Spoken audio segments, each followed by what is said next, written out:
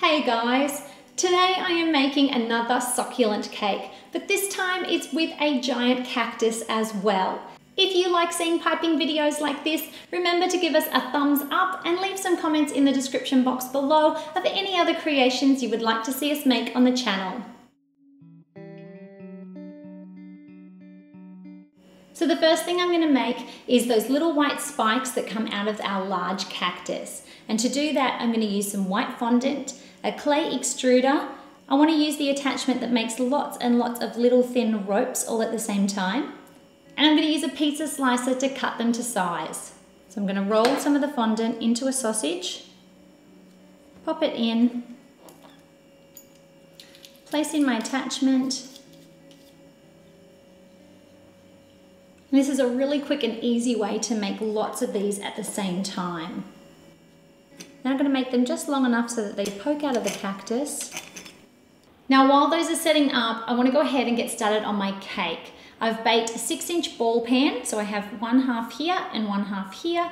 I also have cut out a two and three quarter cake plate, just so that there's a little flat surface to have our cake stand on. I have been to our hardware store and gotten myself a terracotta pot, and into that I have placed an eight inch round cake board.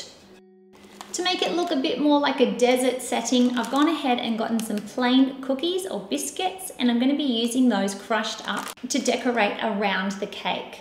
I've also made up some of our sweet buttercream recipe in a bunch of colours. Now as per usual I have listed everything in the description box below, the recipes as well as the colours and the amounts. For these I have written down detailed instructions for every single succulent, what colour and what piping tip. So many of you do recreate our designs and we love seeing them all. Remember to hashtag cake style or you can tag us on Facebook and Instagram.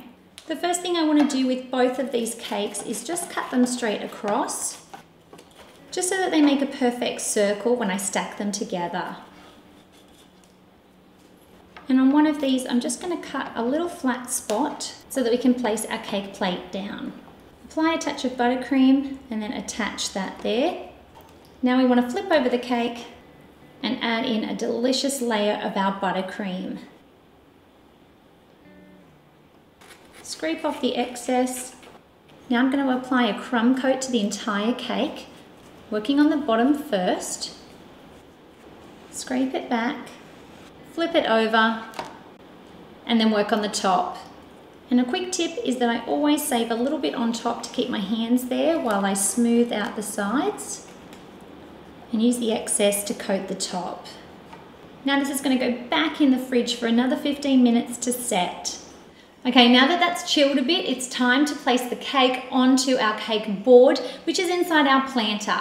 So I'm going to add a little bit of buttercream to the base, gently pick up my cake and place it down. Now I don't want it to be in the middle because I still want to be able to place some other cute little succulents around here. Next, we're going to clean up hands and then pop our cake back onto our turntable. Now I'm gonna take a piping bag, add in a coupler and a 21 star tip, which is a Wilton tip, and just screw that together. And then place in some of our green so that we can turn this little green ball into a little green cactus. Now starting from the bottom, I'm just gonna squeeze and make little dollops. I wanna go all the way around the base to start with. So we're just gonna squeeze and release Stop your pressure and pull away from the cake all at the same time. Just keep building it up layer by layer.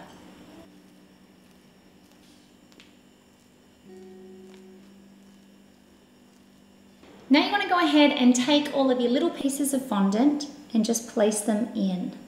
Starting at the bottom,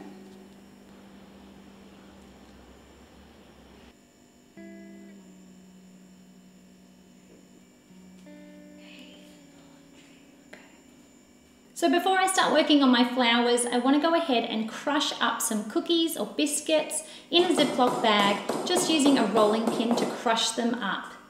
Now you're gonna sprinkle them onto the cake and spread them out. Now I've gone ahead and placed some egg yellow into a piping bag with the number 68 piping tip. And we're gonna pipe three petals, starting from the center squeezing and pull to release. Squeezing and pull to release. Then I'm going to come back on the opposite. Then the same as the start. Now taking some of our little bits of fondant and place them in the center and then pipe little dollops on top with a number two piping tip.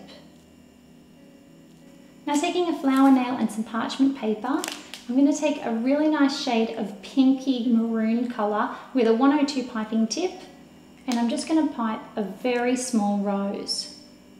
Little wriggle in the centre, wrap around and then little up and down movements.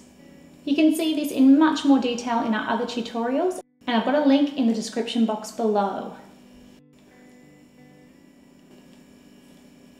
Just two little goes around and that's it. Now I have a piping bag with a 104 tip. I'm going to take that same maroon shade and I'm going to just stripe it up the side that has the smallest part of the tip. Then I'm going to take a real mustard shade and fill the rest of the bag. Now I'm going to squeeze and go around, very much like a blossom. Come up, pulling it back a little ways. Do another row. Turn again and go up and down. Pop this and the rose into the fridge for about 10 to 15 minutes to set. So starting off to the side with our dark green, I'm going to remove a little bit of our soil and pipe a great big dollop. Now taking a 21 tip in a slightly paler green, I'm going to make a space again and just do lots and lots of dollops together and then again on this side. Taking our white with our number two tip, just going to do little dollops on all of these.